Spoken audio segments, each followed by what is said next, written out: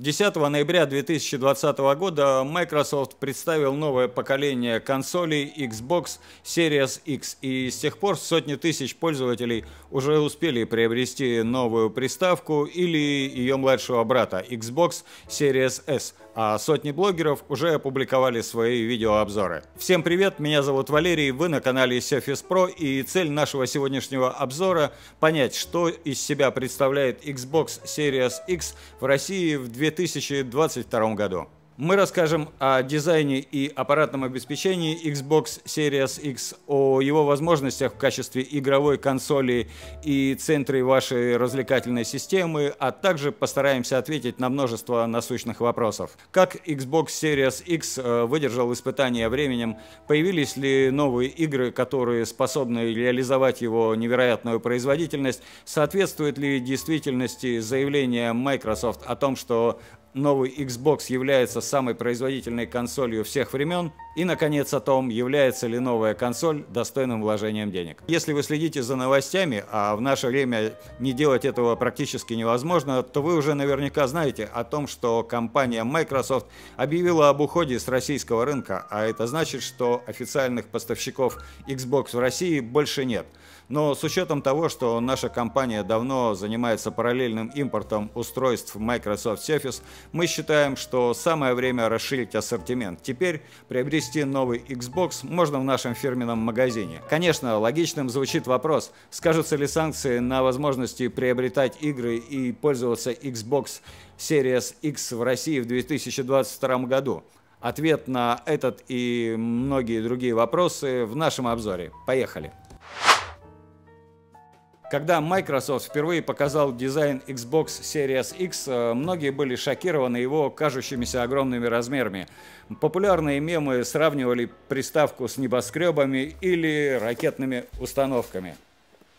Справедливости ради отметим, что в Microsoft с юмором отреагировали на самые популярные мемы, отправив инфлюенсерам и знаменитостям огромные черные холодильники в виде Xbox Series X. Вскоре после анонса стало известно, что PlayStation 5, главный конкурент Xbox Series, еще больше в размерах. Габариты современных консолей определяются законами термодинамики. По мере того, как выросла производительность процессоров, форм-фактор консолей также изменился, чтобы приспособиться к необходимой технологии охлаждения. Промо-изображения, опубликованные Microsoft, сыграли с новым Xbox злую шутку, ожидаешь увидеть что-то вроде системного компьютерного блока, но при этом новый новый Xbox на удивление миниатюрен и одновременно увесист. Вместе с отличным качеством сборки это производит очень солидное впечатление. Сложно найти что-то плохое в визуальном дизайне Xbox Series X, если только вы не собираетесь класть его на бок. Консоль была спроектирована в первую очередь для вертикального размещения. Так она внешне чем-то похожа на современные умные колонки и компактные рабочие станции.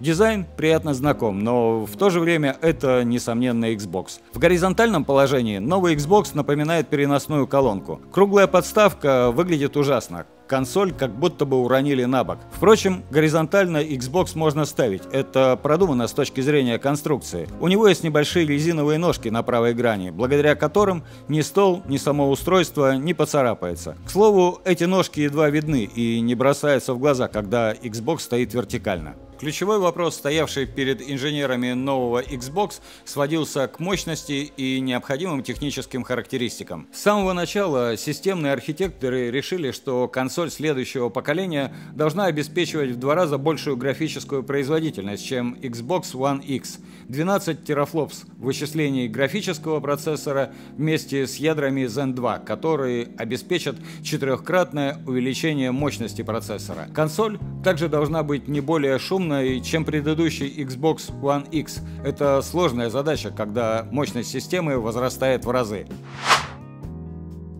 Конструкция Xbox Series X э, разрабатывалась для максимально эффективного отвода тепла. Она построена вокруг шасси радиатора из сплошной алюминиевой отливки, как и Mac Pro 2013 года. Холодный воздух втягивается снизу и выходит через вентилятор вверху. Microsoft разделил системную плату на две части. Справа на одной плате размещаются компоненты высокой мощности, такие как процессор, оперативная память.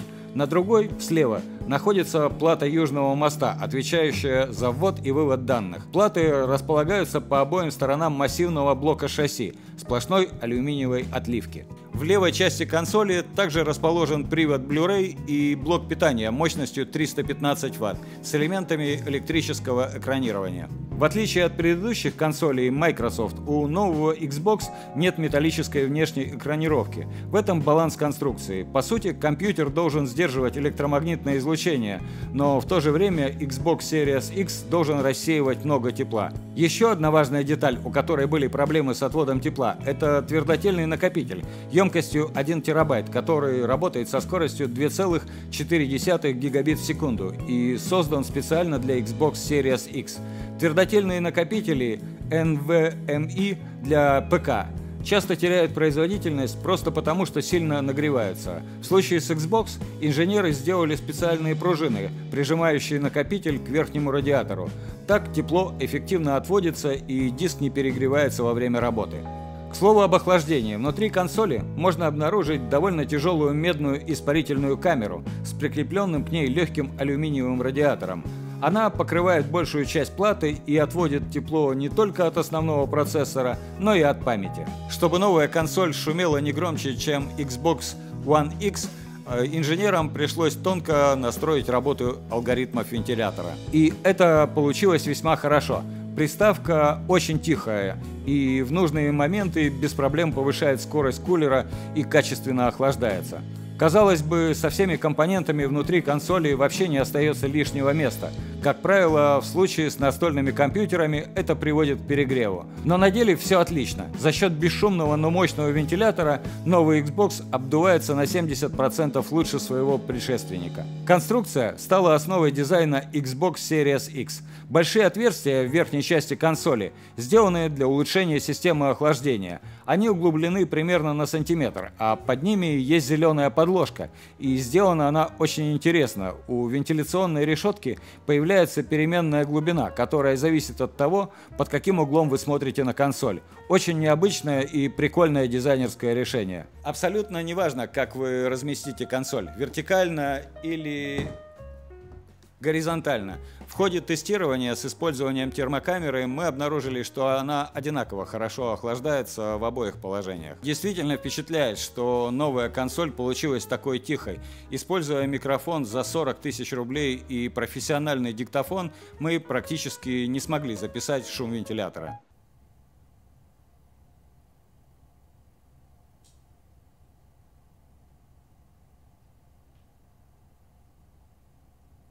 Как вы можете видеть на снимках и видео, сделанных с помощью тепловизора, новый Xbox греется не очень сильно. Для сравнения, Xbox One и PlayStation 4 не только нагреваются, но и жутко шумят в играх, которые максимально раскрывают характеристики консолей.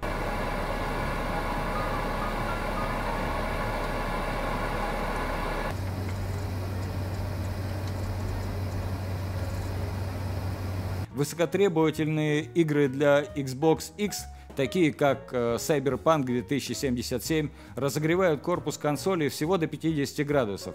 Для системы с производительностью 12 терафлопс это очень круто. А при запуске более старых игр для Xbox One температура еще меньше, около 35 градусов. Что по портам, на мой взгляд, они расположены менее удачно, чем у предыдущего поколения консолей. Они находятся на задней стороне в совершенно произвольном порядке друг над другом. Microsoft пытался решить эту проблему за счет тактильных гравировок, чтобы порты можно было найти на ощупь, но на деле это не очень хорошо помогает, особенно когда из консоли уже торчат несколько проводов. Наконец-то современные консоли последнего поколения избавились от жестких дисков, и на замену им пришли более быстрые твердотельные накопители, ускоряющие не только загрузку игр, но и работу всей системы в разы.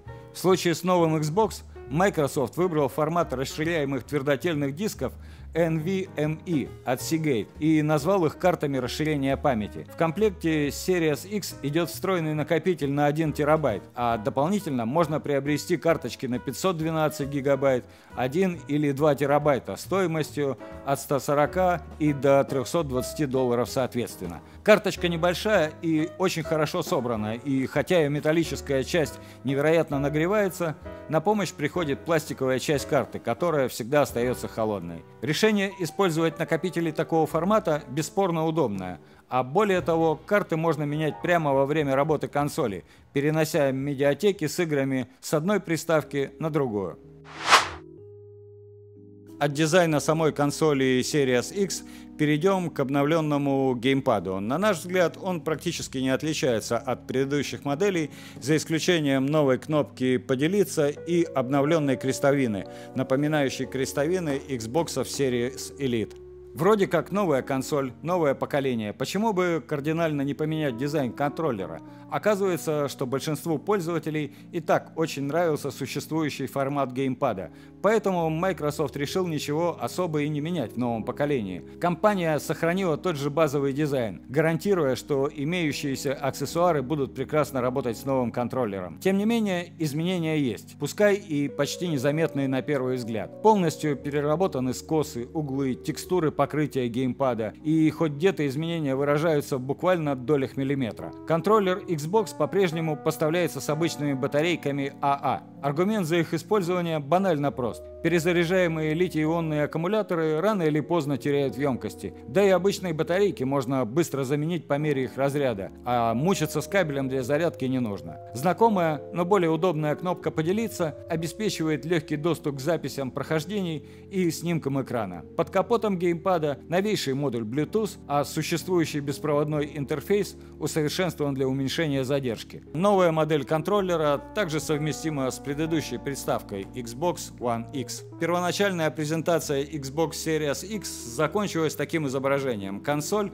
на которую опирается контроллер. И это суммирует контрасты в дизайне Xbox следующего поколения. С одной стороны, это революция в форме самой консоли, ее обновленном форм-факторе, дизайне с двойной платой и потрясающей системой охлаждения. А с другой стороны, контроллер, более осторожный в плане радикальности дизайна, но с полезными новыми функциями и подходом к доступности, который открывает контроллер для большего количества пользователей и делает его более удобным для тех, кто к нему уже привык. Я с уверенностью могу сказать, что Xbox Series X это лучшая консоль, которую когда-либо создавал Microsoft. Она действительно не такая большая, как кажется на фотографиях, а получить мощность полноценного игрового компьютера в таком компактном, прохладном и тихом корпусе это просто замечательно. Но, конечно, игровая приставка это гораздо больше, чем ее дизайн и конструкция. Привет, меня зовут Денис, и я вам расскажу о софте и игровой составляющей Xbox Series X. Последняя консоль от Microsoft – это история успехов и потерь, по крайней мере, когда речь идет о функционале. Формально что Xbox Series S, что Xbox Series X работают на той же операционной системе, что Xbox One 2013 года, но есть некоторые изменения. Во всяком случае, тех, кто привык использовать Xbox в качестве центра домашней развлекательной системы, ждут некоторые небольшие разочарования.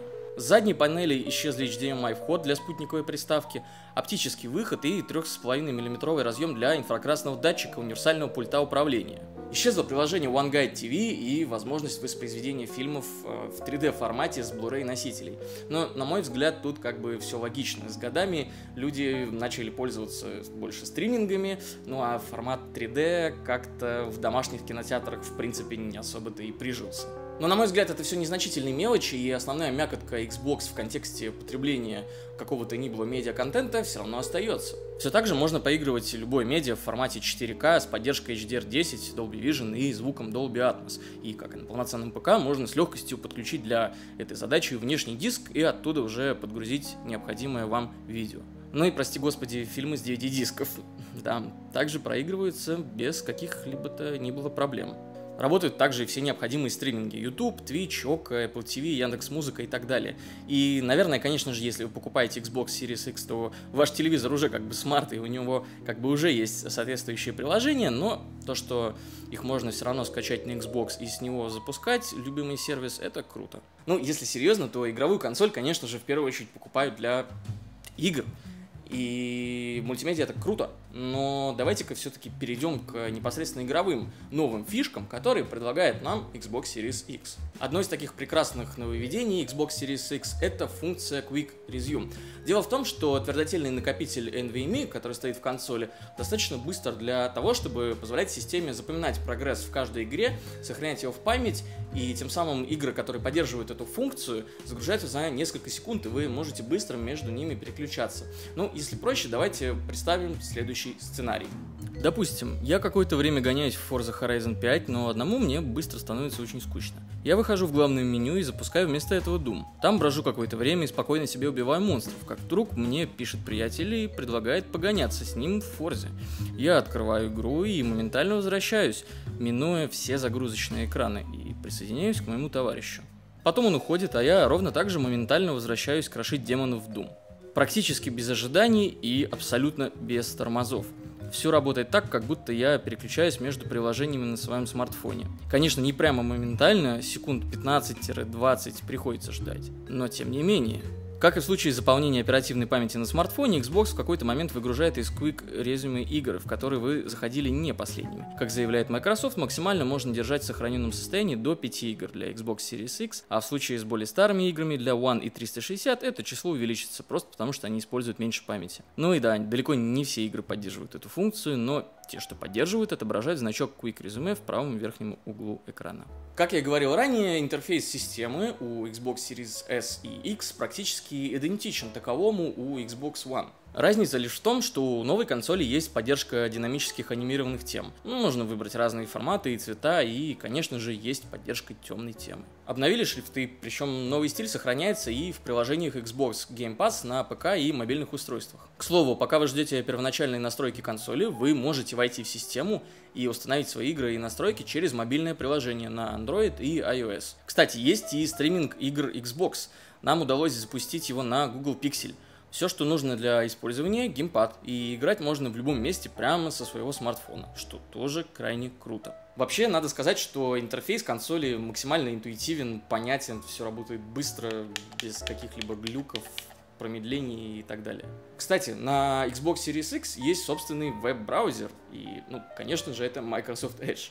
Да, это абсолютно такой же браузер, как и на вашем ПК под управлением Windows. Конечно, с экрана клавиатурой пользоваться им ну, то еще извращение, но просто тот факт, что он есть, это супер. Тут однозначный лайк.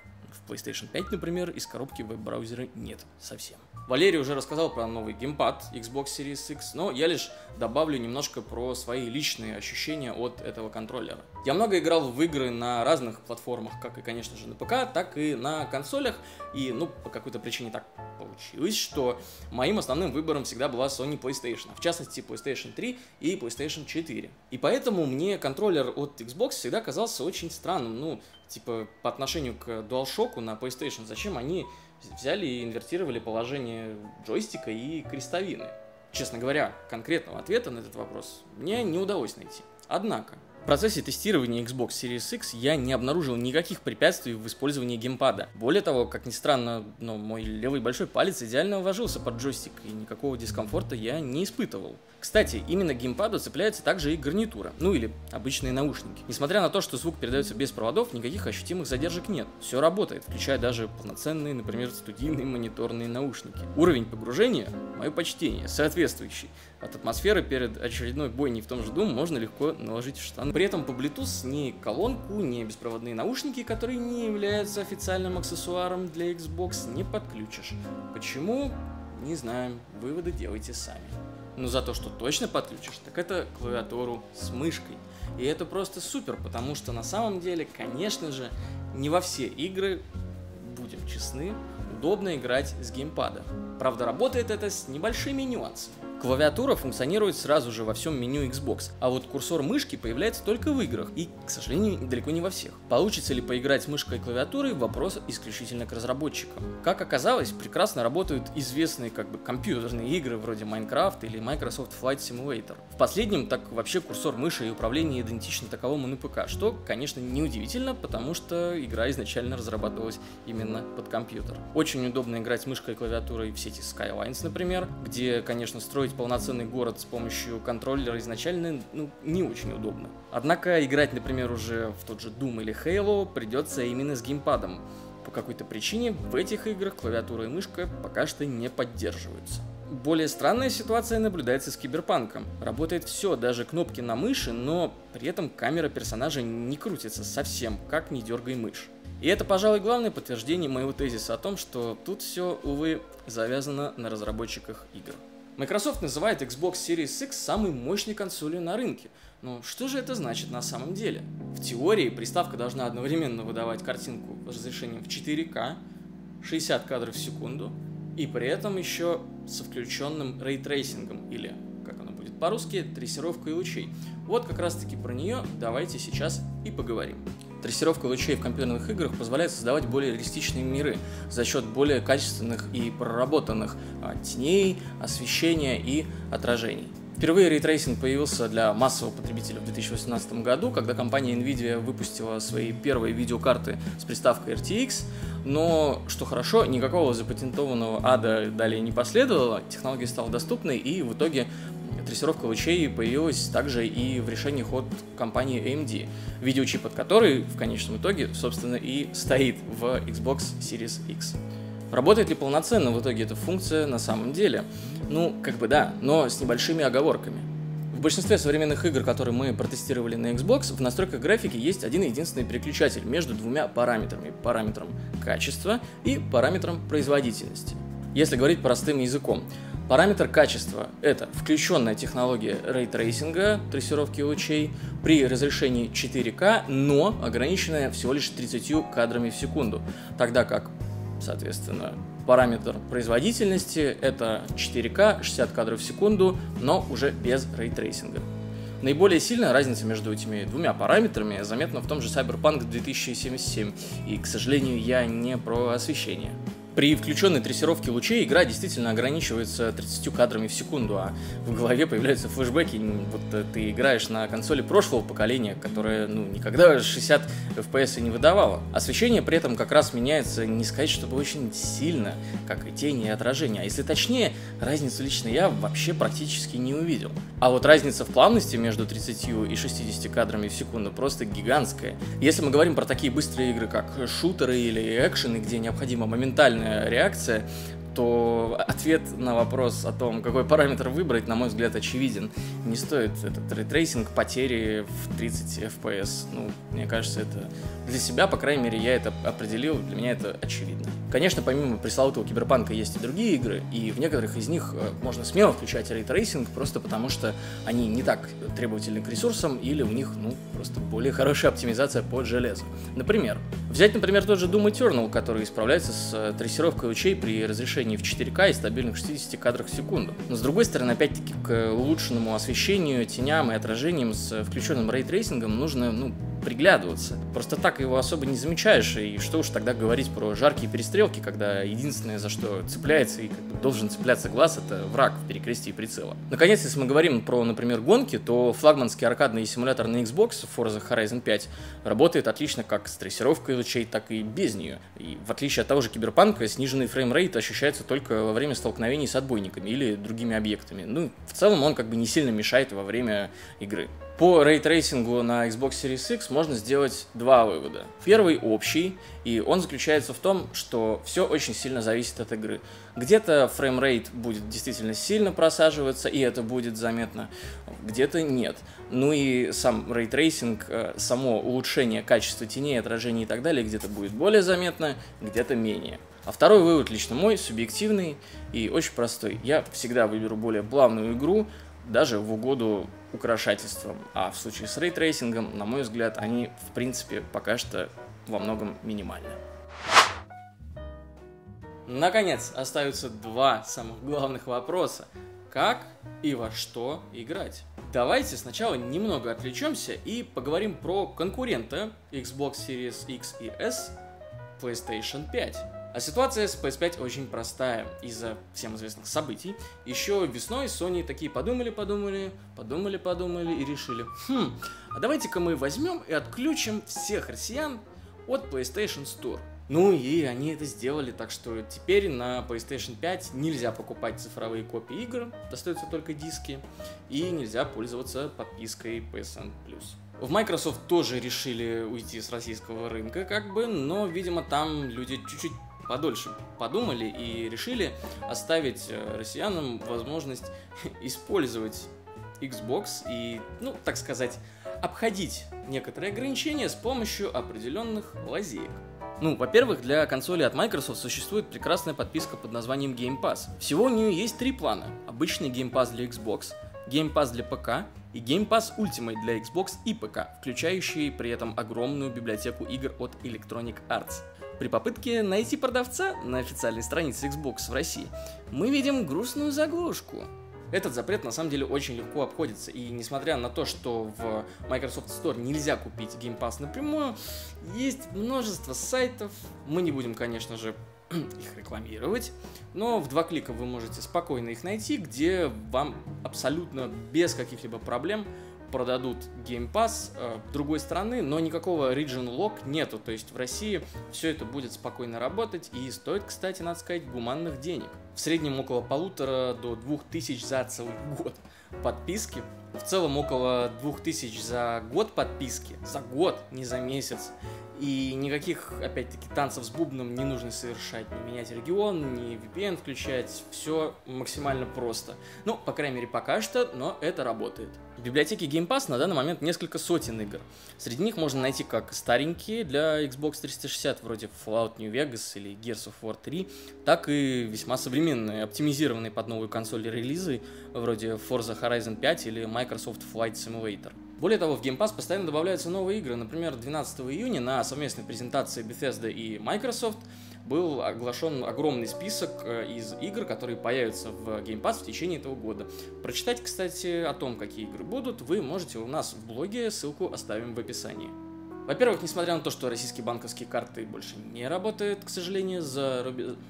Во-первых, несмотря на то, что российские банковские карты, к сожалению, больше не работают с зарубежными магазинами, в том числе с Microsoft Store, вы всегда можете найти онлайн-карты. Ну, зарубежные онлайн-карты для оформления, но, конечно же, мы вам ничего подробно рассказывать и показывать не будем. Но если вы сильно захотите, вы тоже сможете обойти это ограничение. Во-вторых, если вы покупаете именно Xbox Series X, то, как в случае с PS5, вы всегда можете рассчитывать на старые добрые дедовские аналоговые диски с играми, естественно. Объявления о продаже разных тайтлов можно найти на различных площадках, но и в том числе пока что в некоторых розничных магазинах. Но даже без дисков, как я только что до этого объяснил, играть на Xbox Series X в России в 2022 году в игры можно. Спасибо пока что тому же работающему Game Pass. На PS5, увы, остались только диски. Так что выбор между этими двумя консолями, ну, в данный момент в современных реалиях, я думаю, очевиден. Кстати, скоро в нашем фирменном магазине появятся, да, коды для активации Game Pass. Но это так, совет на будущее, а ссылочка на наш магазин, конечно же, будет в описании. Ну что, настало время подвести итоги. Если вы хардкорный геймер Xbox, то, скорее всего, уже успели приобрести новую приставку. Но если вы хотите впервые окунуться в мир консолей, то новый Xbox Series X вас точно не разочарует. Он очень производителен и в теории может посоперничать с самыми мощными игровыми компьютерами. А самое главное, эту мощность есть на чем реализовывать. Microsoft продолжает вкладываться в производство игр и ежегодно покупает покупает как большие, так и маленькие студии. Так что никаких игр нет. Игры есть, были и будут.